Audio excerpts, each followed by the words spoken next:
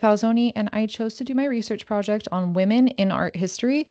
I chose this topic because I have been inspired by courageous and powerful women um, learned within this course, and I wanted to go a little bit more in depth on those and a couple new ones.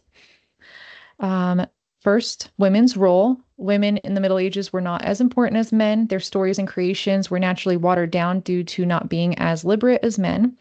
This um, was also due to not being offered the same level of education, which resulted in women not being able to read and write. The exclusion from gaining knowledge and ability to express themselves has made it challenging to find women's histories. However, it is not non existent. Um, I included this self portrait of this female nun, and it is her holding a, a manuscript, kind of like, hey, listen, I wrote this, not the men. So I thought that was kind of interesting. Um, a little bit on the history. Female med- medieval artists can be seen in manuscript illumination of the Middle Ages. These include Ende, and yeah, Ende, a Spanish nun from the 10th century, Guda, a German nun from the 12th century, Clarissa, a laywoman in a Bavarian scriptorium, also in the 12th century.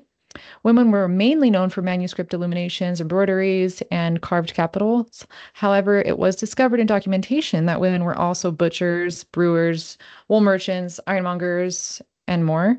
And you can kind of see like women not being in their norm, not being portrayed as their norm in these photos here. So it's pretty interesting um, and very unique, very unique color choices but very cool. Um, the three women I really want to focus on, though, are Empress Theodora of the 6th century, Hildegard of Bingen um, from the 12th century, and Guan Daosheng from the 13th century. First, my favorite, Empress Theodora. She was um, Emperor Justinian's wife of Byzantine, and she was an advocate for women's rights and performed other charitable acts geared towards women. As Emperor Justinian was ready to forfeit his command during the Nika revolt um, with riots and chaos, Theodora then stepped in with a political speech that inspired many, along with her husband. Her name was also mentioned in all laws passed during his reign. So I think she was doing a lot more than a lot of what we realize. Um, and I put this mosaic um, because it's that famous mosaic that we saw in class as well. Um, she is represented as fierce and bold and courageous, and we can just see how serious she looks like she is ready to do some serious um, political changes. and then I really love the gold, just really enhancing her her power. Um, second is Hildegard of Bingen from the 12th century, um, German Benedictine abbess and composer. She was recognized by, by her musical morality play and letter, where she preaches in defense about nuns being able to wear white silk dresses and loose hair. Um, she believed divine was both elements of male and female. And she was thought to have psychic abilities with spiritual visions, which she then wrote about and inspired many through her wise works. Um, she was had a really extraordinary mind, full of math, biology, theology, medicine, and philosophy. Philosophy, just to name a few.